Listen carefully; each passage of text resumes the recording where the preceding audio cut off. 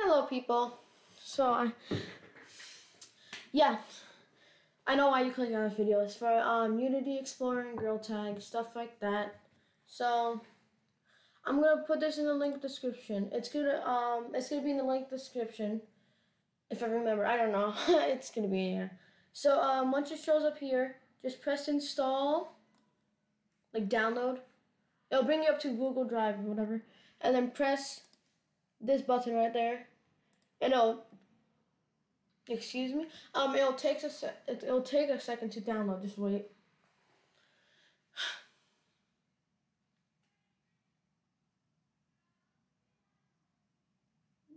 Waiting. Okay, yeah. So once it downloads, open the file. Press extract all. Extract.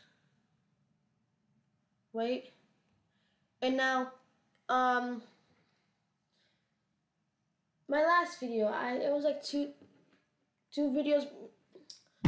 Um, I have a video about like how getting mods.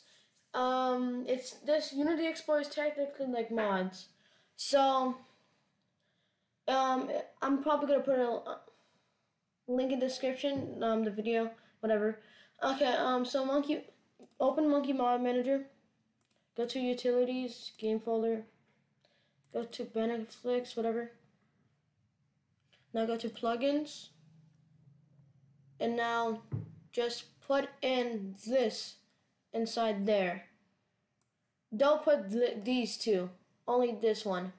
You see, I already have it, so I'm not gonna add it. So, yeah, so um, let me show you what it can do first. I don't know, I'm just gonna press that. You don't have to. Okay. Open Gorilla Tag.